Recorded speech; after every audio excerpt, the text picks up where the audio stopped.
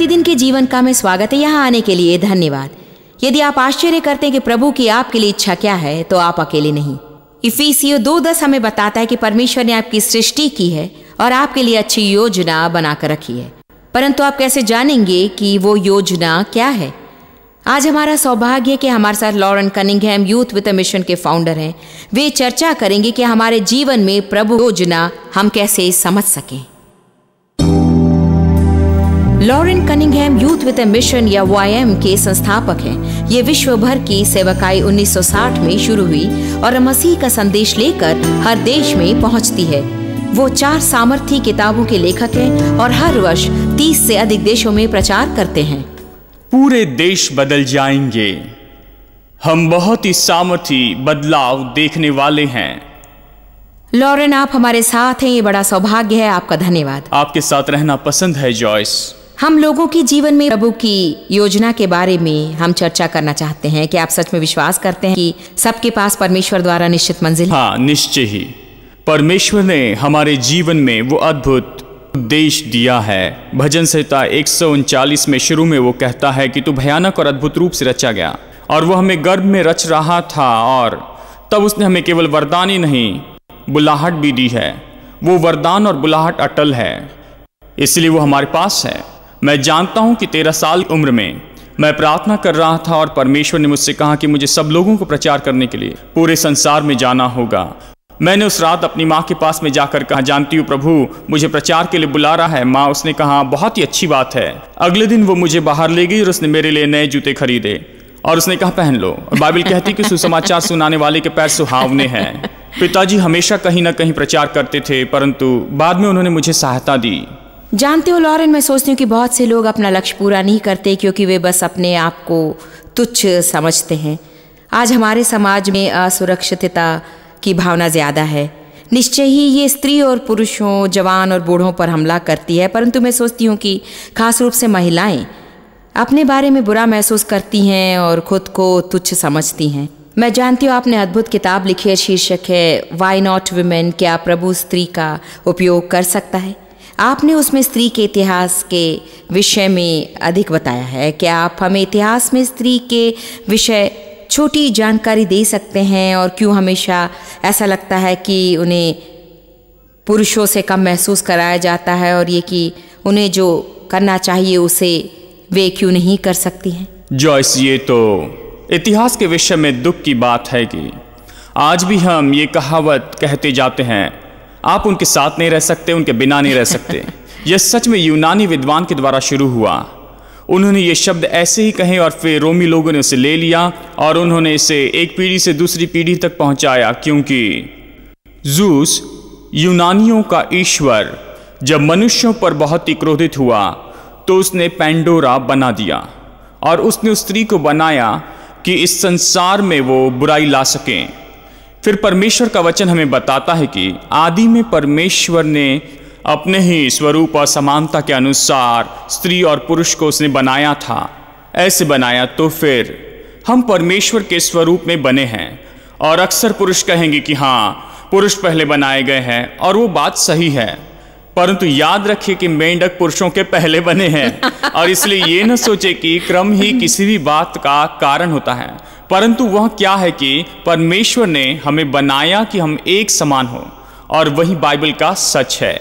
यदि हम दोनों परमेश्वर के स्वरूप में बने हैं, और हमारी कीमत उसी से होती है। देखिए, हमें मूल्य तो लोगों से नहीं, परंतु परमेश्वर से मिलता है। वही वो जगह है जहाँ पर सारा मूल्य सही होता है। बाकी सब जगह तो बस एक, विचार है। सही कहा, और जानते जब आदम ने हवा को बनाया, उसने आदम की एक पसली ली और मैं हमेशा कहना पसंद करती हूँ कि उसने उसे आदम की पसली से निकाला ताकि वो उसके साथ रहे उसके पैरों में नहीं कि वो उसके नीचे सही कहा। तो हम स्त्री के इतिहास के बारे में और बताएँ क्योंकि मैं जानती हूँ कि इतिहास में स्त्री के साथ बुरा व्यवहार हुआ है। निश्चय ही आज पश्चिमी देशों में परिस्थिति बहुत उत्तम है लेकिन आज भी ऐसी परंपराएँ हैं और हमारे संसार में ऐसे भी हिस्से हैं जहाँ स्त्री के साथ जानवरों सा व्यवहार होता आया है। ये सच में वापस यूनानी लोगों के पास वापस जाता है और जिस रीति से उन्होंने स्त्री को देखा, प्लेटो से शुरू करके और सॉकरटीस से एरिस्टोटल तक हम देखते हैं। एरिस्टोटल ने सिकंदर महान को प्रशिक्षित किया था और वो समलैंगिक था। जैसे आप स्त्री के विषय में उनके दृष्टिकोण देखना शुरू करते हैं, उन्हें कहा जाता था एरिस्टोटल ने सब ह्यूमन कहा है? बस जानवर से थोड़ा सा ऊपर। उस पूरी परंपरा में हम कहते हैं हाँ ये तो लोकतंत्र का स्थान है। हाँ ये तो पुरुषों के लिए था। केवल आज़ाद ही, कोई गुलाम नहीं और कोई नहीं, निश्चय स्त्रियाँ या बच्चे नहीं। इसलिए वे हमेशा कानून बनाते, केवल पत्नी, बच्चे और गुलाम के लिए, पत्नी, बच्चे और गुलाम। उन्हें ज़िम्मेदारी दी गई, उन्हें बताया गया कि वे क्या नहीं कर सकते, पुरुषों को कभी नहीं कहा गया। कभी ये नहीं बताया कि पति या पिता को क्या करना है। जब तक कि पॉलुस ना आया, उसने वो सब तोड़ दिया, परंतु रोमी लोगों ने यूनानी देवी और देवताओं को लिया और उन्होंने उनके ऊपर में रोमी नाम लिख दिए और वही विचार आगे बढ़ते गए। और फिर आप देखते हैं कि यह सब मसीहत में वापस आता है। जैसे आप देखते हैं कि मध्य युग में मसीहत ठंडी होना शुरू हो गई थी, फिर आप वही विचारधारा लेना शुरू करते हैं। आप इसे मध्य पूर्व में हर जगह देखते हैं, क्योंकि एक स्त्री सबसे पहली एक लड़की पैदा होती है। यदि वो लड़की लड़की पैदा हो जाती है तो उनके पास अधिकार होता है कि उसकी हत्या कर दें। सही कहा। और वे वैसे ही करते हैं। सच में न्यूयॉर्क टाइम्स में कुछ पन्नों के बाद ये एक हेडलाइंस वहाँ पर थी कि इस संसार में सौ करोड़ स्त्रियाँ गायब है। लोकतंत्र के रूप में वह हमें बता सकता है कि कि हर समाज में कितनी हर समाज में कितनी स्त्रियाँ होनी चाहिए थी। लगभग सौ करोड़ से भी अधिक गायब है क्योंकि जैसे कि चीन में वे बच्चे की हत्या करते हैं क्योंकि वह लड़की है या किसी कारण उनका गर्भपात करते हैं। संसार की कई परंपरा में ये आज भी होते रहता है। आज भी ये होता है। मैं सोचता हूँ कि ये वापस उत्पत्ति अध्याय तीन में जाता है जहाँ शैतान स्त्री पर इतना ज़्यादा क्रोधित हुआ क्योंकि वह जिसे जन्म देने वाली थी जिसके द्वारा उसका सिर निश्चय ही कुचला जाना ही था। सही कहा। तो वह हमेशा स्त्री और बच्चों से लड़ते रहता है। और आप देखेंगे कि राजा हेरोदेस ने बच्चों की हत्या की। सही इस कारण तो शैतान पुरुष से अधिक के विरुद्ध में युद्ध करते आया है पुरुषों से अधिक स्त्रियों से। मैं नहीं सोचती कि हम सच में कई बार जानते कि शैतान स्त्री से कितनी नफरत करता है। और उसने कैसी योजना बनाई और काम क्या है। जैसे कि मानो आप कह रहे हैं चाहे वो यूनानी दंत कथा के विषय हम सोचे कि शायद इसका आज हम पर कोई भी असर नहीं डालता परंतु इसने सच में हमारी परंपरा में काम किया है और हमारे अंदर ऐसे बहुत से विचार डाले हैं जिसके विषय हम कई बार नहीं जानते कि ये सच में हमारे अंदर है। ये कई बार अनजान रूप में होता है ये अनजान रूप में हो परंतु ये परंपरा द्वारा आता है। बार बार बार बार आता है। स्त्री का मूल्य नौकरी के साथ में निश्चित किया जाता है। एक ही काम के लिए बावजूद उन्हें पुरुष की तुलना में बस सत्तर प्रतिशत ही मिलता है। ये तो अमेरिका में है। हम कहते हैं कि इस संसार में सबसे अधिक आज़ादी का स्थान यही है। परंतु सत्य हाँ में है। संसार में जो गैर मसीह परंपरा है उनकी तुलना में हमारे पास यहाँ अधिक आज़ादी है। आप वहाँ पर जाए तो पाएँगे कि कई बार स्त्रियों को संपत्ति समझकर रखा जाता है खासकर मध्य पूर्वी देशों में। आप तो जानते हैं निश्चय ही मैं एक स्त्री हूँ। आप देख ही सकते हैं। हाँ। एक सुंदर स्त्री।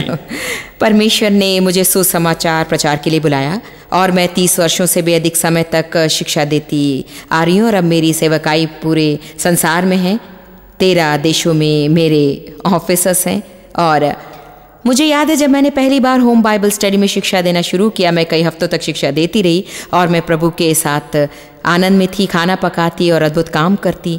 फिर एक धार्मिक अगुए ने कहा कि तुम उसे नहीं कर सकती, तुम एक स्त्री हो। मैं बस प्रभु की आज्ञा मानने की कोशिश कर रही थी और वही कर रही थी जो मुझे लग रहा था कि वो चाहता है। आज के दिन तक हर बार जब कोई मेरा इंटरव्यू लेना चाहता है, मैं कहती हूँ कि लगभग पचासी प्रतिशत बार जब कभी मेरा इंटरव्यू हुआ लोग जानना चाहते हैं कि इस विषय में क्या अलिसिया में चुप रहे तो मैं आपसे पूछती हूँ क्या आप ऐसी किसी स्त्री को जानते हैं जिसका परमेश्वर ने महान रूप में किया? इतिहास हमें क्या बताया है? परमेश्वर स्त्रियों का उपयोग करता है या नहीं करता? क्रेंटेन बूम ने मुझे तब फ़ोन किया जब वह अस्सी वर्ष की होने वाली थी। उन्होंने कहा लोरेन तुम आकर मेरे लिए प्रार्थना करोगे। मैं विश्वास करता हूँ कि प्रभु मुझे अस्सीवें जन्मदिन पर नई सेवकाई दे रहा है। और प्रभु ने मुझे वचन दिया कि वो दस साल तक और जिएगी और उसके बाद नब्बे साल के जन्मदिन पर वो मरी। उनके लिए प्रार्थना की और उन्होंने अधिक लोगों को उद्धार पाते देखा। और जीवन के द्वारा अधिक लोगों की सेवकाई देखी लाखों लोगों की। पहले अस्सी वर्षों से भी अधिक। अब वो मेरे लिए सौभाग्य था था। परंतु परमेश्वर ने मुझे उनके जीवन में सहभागी होने दिया। मैं उन्नीस में न्यूजीलैंड में एक घर में था और मैं वहाँ एक हफ़्ते तक उपवास और प्रार्थना में था। मैं वहाँ प्रोफेट चैम्बर में था। और त्याग कर उस महिला से कह दे कि कि देशों में जाकर शिक्षा दें। तो मैं ऊपर गया और वो गृहिणी थी और वो अपनी कलिसिया के संडे स्कूल में भी उन नियमों के कारण नहीं पढ़ा पाती। मैंने कहा, क्या आपके पास में जाने की बुलाहट है? उसने कहा, अपने घर में चौदह वर्षों तक प्रश्न लिया और चौदह नोटबुक संदेश से भरी हुई थी और जॉय डॉसन उस वर्ष सेवकाई में आ गई और मैंने उन्हें न्योता दिया, वो अपने पहले वर्ष में गई। अब उनकी शिक्षा पूरे संसार में विख्यात है, वो सिखाती है टेलीविज़न, रेडियो पर और किताबों और हर तरीके से। तो मुझे कई स्त्रियों के साथ सेवा करने का सौभाग्य मिला क्योंकि मेरी माँ परमेश्वर की महान स्त्री और महान शिक्षिका थी। मैं पास्टर चौक कलीसिया में प्रचार कर रहा था और उन्होंने मुझे ये कहानी बताने की अनुमति दी जो मैंने किताब में लिखी है। उन्होंने मुझसे कहा कि 1971 में के पास केवल 6000 लोग थे। और जब मैं पिछली बार गया तब उनके पास सात लाख सदस्य थे। परंतु उन्होंने कहा कि मेरी पत्नी की माँ अर्थात मिसास अच्छी शिक्षिका और प्रचारक है। मुझे रीति रिवाजों के अनुसार अनुमति नहीं कि उन्हें मंच पर जाने दो। तो मैंने कहा उन्हें मंच पर जाने दीजिए। प्रभु की आज्ञा माने मनुष्य की नहीं। सही कहा। वो अचंबित हुए और उन्होंने कहा कि आप नहीं जानते मुझसे क्या कह रहे हैं? मैंने कहा, मैं आपको बताऊँ, आप माँ को बुलाइए, क्योंकि माँ ने उन्हें हमारे किचन के टेबल पर सिखाया था, वो कैलिफ़ोर्निया में हमारे घर में थे, और तब वो तो अपनी सेवकाई शुरू कर रहे थे। और मैंने कहा कि माँ को आने दे, प्रचार करने दे, और प्रचार खत्म होने के बाद में मैडम चो को दें। और उन्होंने ऐसा किया, और वो आज़ाद होने लग गए। पिछली बार वहाँ पर गया था तो उनके पास में लाखों लोग थे। उन्होंने कहा, जानते हो मेरे पास उनचास हज़ार पास्टर है और उनमें से उनचालीस हज़ार स्त्रियाँ हैं। उन्होंने कहा परमेश्वर ने मुझे संसार में सबसे बड़ी कलिसिया दी क्योंकि मैंने स्त्रियों को आज़ाद किया। ये सच मैं सोचता हूँ कि ये अच्छा सच है वाइबम के साथ में और सब सेवकाई के साथ में यदि अगवे केवल स्त्रियों को आज़ाद कर दे ताकि प्रभु ने उन्हें जो वरदान और बुलाहट दी उसे वे कर सकें। हाँ। हम कैसे ऊपर न्यायात्मक रूप में कहें वो तो वो सेवकाई देता है और कहे नहीं वो नहीं कर सकती है क्योंकि हमारे सहकर्मियों में से पचास प्रतिशत हम उन्हें कैसे जाने दे? ये तो हंसने वाली बात है। हम इसके विषय कुछ ही मिनटों में चर्चा करेंगे, परंतु अब हम एक ब्रेक लेंगे। क्या आप विश्वास करते कि सबके पास पूरा करने के लिए एक लक्ष्य होता है?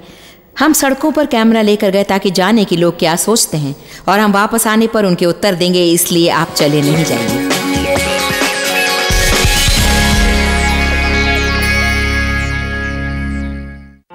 अक्सर लोग अपने लक्ष्य के विषय में बहुत ही गड़बड़ी में होते हैं। कुछ निश्चित नहीं होते कि उनके पास लक्ष्य है या नहीं जबकि दूसरे विश्वास करते कि लक्ष्य के बिना आप उसे पूरा नहीं कर सकते। इस विषय पर स्त्रियों के विचार सुनने के लिए हमने कई स्त्रियों से बातें की। मैंने कभी नहीं सोचा कि मेरा कोई लक्ष्य होगा। मैं हमेशा सोचती आई कि मैं आज़ादी से सोचने वाली हूँ परंतु मैं सोचती हूँ कि ये सब किसी कारण से होता है और जो बातें मैं करती आई हूँ वो दिखाता है कि कोई लक्ष्य नहीं। मंजिल रखना सबसे महत्वपूर्ण है क्योंकि लक्ष्य होना ज़रूरी है, मंजिल को लक्ष्य के रूप में देखती और उसके लिए कुछ करती हूँ। ये सचमुच दिलचस्प प्रश्न है और मुझे ये कहना ही चाहिए कि मैं निश्चय महसूस करती हूँ कि मैं उस बात की और बढ़ रही हूँ। मंजिल तो अपने अंदर जानना है कि आप किसी और बढ़ रहे हैं और मानो ऐसा किसी भी तरीके से नहीं हो सकता है। विश्वास है कि हमेशा पर्याय है आप अपना मार्ग सदा चुन सकते हैं। यदि आप विश्वास नहीं करते हैं कि आपको कोई मंजिल है तो आप नहीं जानते कि कहाँ जा रहे हैं और जहाँ जाना चाहते हैं वहाँ कौन सा कदम लें। मैं नहीं सोचती कि इन बातों को मेरे लिए करवाने या नहीं करने के लिए परमेश्वर किसी भूमिका को निभाता है। यदि मेरे जीवन में परमेश्वर नहीं है तो ये सबसे अंधकार का समय है। मेरे पास सच में जीने के लिए या देखने के लिए कुछ भी नहीं है। प्रतिदिन क्या करना चाहिए उसमें मेरी अगुवाई करता है। वो मेरे और मेरे पारिवारिक जीवन का बड़ा भाग मैं नहीं जानती कि यदि मैं लक्ष्य में विश्वास करूँ मैं जानती हूँ कि प्रभु मार्गदर्शन करते हैं परंतु मैं सोचती हूँ कि मैं जो चुनाव करती हूँ उसे मैं बदल सकती हूँ।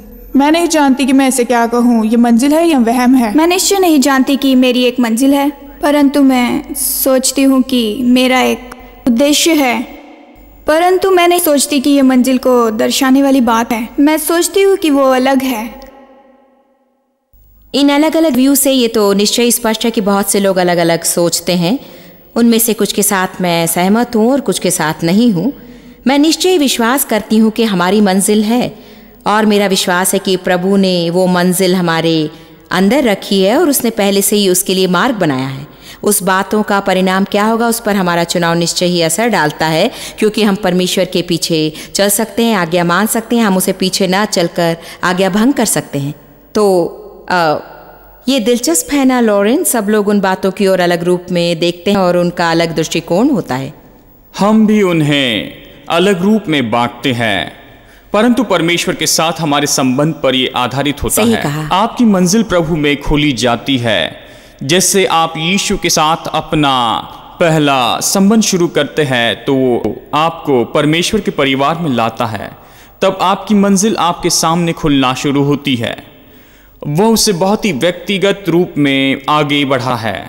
देखिए, एक मसीही होना मेरे लिए मानो सबसे ज़्यादा उत्साहजनक बात है। कौन नहीं चाहेगा कि परमेश्वर के साथ चले? और प्रभु की सुने और प्रभु की अगुवाई में चले और अपनी मंजिल पूरी करे और आप जो कुछ हो सकते हैं वो हो। निश्चय ही जब परमेश्वर ने तेरह साल की उम्र में मुझसे बातें की मैं उस समय केवल इतना ही जानता था कि मैं संसार के हर देश में जाऊँगा और मैं हर देश में गया। केवल कुछ ही लोगों ने वह किया है और जैसे हम उसकी आज्ञा मानते हैं उसने हमारे अंदर कुछ खाते रखी है। कुछ लोग सच में अकाउंट्स बनाने के लिए आगे बढ़ते हैं।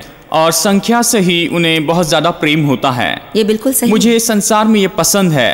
परमेश्वर की इच्छा मानना मेरे लिए मुश्किल काम नहीं है। परंतु मनुष्य कई बार उसे नहीं करने के कारण दूसरों पर सीमाएँ रखते हैं परंतु उन्हें ऐसा नहीं करना है।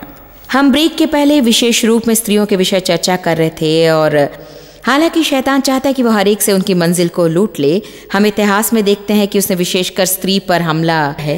और हम विश्वास करते हैं कि ये वापस उत्पत्ति में आता है जब अ, सर्प ने जो सच में शैतान का प्रकटीकरण था जब सर्प ने हवा की परीक्षा ली कि प्रभु ने जो कहा उसे वो ना करे और उसने आदम को उसमें ला लिया और फिर परमेश्वर आया और उससे बातें करने लगा और फिर उसने सर्प से कहा कि स्त्री का बीज तेरे सिर को कुछ लेगा सामान्य रूप में तुझसे तेरा अधिकार ले लेगा स्त्री का बीज तुझसे तेरा अधिकार ले लेगा। हम जानते हैं कि वो बीज यीशु मसीह है, जो हमारा और प्रभु है, इसलिए शैतान स्त्री से नफरत करता है। क्योंकि वो जानता था कि स्त्री का उपयोग किया जाएगा, कि वो परमेश्वर के पुत्र को लाएगी, जो उससे हरा देगा। शैतान ने स्त्री से नफरत की और उसने उन पर हमला किया। विशेषकर वो कोशिश करता रहा कि परमेश्वर के वचन से संबंधित बातों में उन्हें चुप बैठा कर रखे। ये मुझे आश्चर्यचकित करता है कि आज भी वो गलत सोच कैसे हमारे समाज पर अपना असर डालती है। ये पहले जैसे तो नहीं है, परंतु मैं सोचती हूँ कि बहुत से लोग जो मुझे सुनते हैं और मेरी ये शिक्षा को पसंद करते हैं, सोचते होंगे कि क्या सच में उन्हें एक स्त्री की सुननी चाहिए। मैं आपको एक अजीब कहानी सुनाऊँगी। जब मैं केवल रेडियो पर आती थी, लोग मुझे देख नहीं सकते थे, वे सिर्फ़ मेरी आवाज़ सुनते। और यदि आप मेरी और नहीं देख रहे तो कई बार मेरी आवाज़ को पुरुषों की आवाज़ समझी जाती, क्योंकि वो बहुत ही गहरी और भरी थी। हम शिकागो में एक कलिसिया में सेवकाई करने गए और वहाँ एक व्यक्ति आया। उसने हाँ मुझे आपको एक अजीब बात बतानी है। कोई तरीका ही नहीं था कि मैं कभी किसी स्त्री की सुनता क्योंकि मेरी मनोदशा ही थी कि कोई स्त्री मुझे नहीं सिखाती है। मैं सच में पुरुष प्रधान था। मैंने आपको रेडियो पर छः महीने पहले प्रचार करते सुना और फिर अंत में मैंने जान लिया कि आप एक स्त्री हैं। और आपकी शिक्षा ने मेरी जीवन को बदल दिया और इस बात इंकारी में नहीं कर सकता कि परमेश्वर आपका उपयोग कर रहा है। ये सच में एक दुख की बात है। सच। क्योंकि मैं सोचता हूँ कि हमला पुरुषों के विरुद्ध में भी है, क्योंकि सबसे पहले हम जो कुछ प्राप्त कर सकते हैं। दूसरी बात, वो हमारे अंदर घमंड ला, वो हमारी घमंड के लिए परीक्षा लेता है। हम सोचते हैं कि हम उत्तम हैं और इसी कारण शैतान पहले नीचे गिरा था। इसलिए परिणाम स्वरूप मैं सोचता हूँ कि आप कम और पुरुष पाते हैं। उदाहरण के लिए कलीसिया में काम करने के लिए, क्योंकि हम परंपरा के अनुसार सोचते हैं कि हमें उत्तम होना चाहिए और हम जानते हैं कि हम नहीं हैं। ये सच में मुश्किल है। देखिए ये बहुत ही मुश्किल है। ये तो उत्पत्ति अध्याय तीन में शुरू होता है जहाँ पर परमेश्वर ने परमेश्वर ने सुझाव नहीं दिया था कि मैं चाहता हूँ कि हमें बताए कि पतन के कारण क्या होने वाला था। और ये कि शैतान सच स्त्री और पुरुष के संबंध पर हमला करेगा। किस संबंध में? और सेवकाई पर भी। हम यहाँ पर लक्ष्य के बारे में चर्चा करने के लिए आए हैं परिवार के विषय में नहीं। परंतु उस लक्ष्य में पुरुष को एक सहायक दी गई है, ये बाइबल बताती है। वो शब्द एजेर है, इब्रानियों में। ये शब्द तो बाइबल में इक्कीस बार आया है। सहायक का पंद्रह बार अर्थ है, परमेश्वर मेरा सहायक हो। जानते हैं एबेनेजर, मेरा सहायक हो। पंद्रह बार ये परमेश्वर की सहायता मांगना है। पाँच बार ये एक देश को अपने से बड़े देश से मदद मांगने के विषय में है। यदि आप स्कूल में हैं आपको मारा जाता है तो आप छोटे भाई को मदद के लिए नहीं बुलाते बड़े भाई को बुलाते हैं। और तो 20 बार ये हमें बताता है कि बड़ा छोटे की सहायता करता। परंतु इसमें हम सोचते हैं कि हाँ मेरा ये व्यक्तिगत गुलाम है मेरा सहायक है। और सच में देखा जाए तो वो शब्द एजेर उस एक जगह पर इसके पहले एक शब्द रखा गया है जो कहता है कि वे एक सम्मान है आमने सामने व्यक्ति से व्यक्ति। हमें एक साथ सहभागी होना है। हमें एक के ऊपर एक नहीं परंतु एक समान होना है। जब पॉलुस फीबी से बातें करता है और रोम में फीबी के विषय बताता है रोमियो अध्याय 16 में वो कहता है कि वो एक डायकोनॉस है और सब जगह पर हम इसे देखते हैं कि इसका अनुवाद किया गया है और वो तो सेंक्रिया की कलीसिया में सेविका थी। जब कभी ये पुरुष से जुड़ा होता है तो वे सेवक शब्द उपयोग करते हैं। परंतु यहाँ पर उन्होंने सेविका शब्द रखा है। वो कलीसिया की सेविका तो अनुवादकों की मनोदशा के कारण अनुवादकों की मनोदशा। आप उन पर दोष नहीं लगा सकते हैं उन्हें ये बार बार बताया गया है। फिर उसी भाग में दूसरे वचन में वो कहता है कि वो कई लोगों की प्रोस्टाटस थी जिसमें मैं भी एक हूँ। प्रोस्टाटस शब्द का अनुवाद सहायक होता है। अब हर जगह उसका उपयोग हुआ है यहाँ है स्वामी प्रभु अगवा। सच में तो जोसेफस ने इसे 20 बार कैसर के लिए उपयोग किया है। एक बार वो कहता है कि वो पूरे संसार के लिए प्रोस्टोटस है। वो शब्द सहायक का उपयोग नहीं कर रहा नहीं तो उसे मार दिया जाता। परंतु देखिए वो शब्द जो बायस है वो अनुवाद में आता है। इसलिए हम नहीं देखते कि डेबोरा देश की अगुवाई करती थी। वो भविष्यवक्तिनी थी और देश की अगुवाई करती थी। शमूएल के समान ही सेवकाई थी। उसने सच में हमें बाइबल का एक भाग दे दिया है। यदि आप न्यायों में देखिए अध्याय चार में, हम देखते हैं कि ये सब उसके द्वारा बाइबल में पवित्र आत्मा से आता है। यदि आप चाहें तो आठ सौ चाहते हैं तो बहुत ही आसानी से हम देखते हैं कि ये स्त्री के द्वारा बाइबल में आया है। तो परमेश्वर ने हमेशा स्त्री का उपयोग किया हमेशा स्त्री का उपयोग और किया वो उनका उपयोग हमेशा करता रहेगा है ना? और करेगा ही। मुझे खुशी है कि आप हमारे साथ कल भी रहेंगे। पूरे संसार में हो रहा है और जैसे मैं हर जगह यात्रा करता हूँ मैं आपको। देखता हूँ। तो जानिए कि आपकी मंजिल क्या है और स्त्री होने के नाते आज़ादी महसूस कीजिए। कल फिर मुलाकात करेंगे प्रभु आशीष दे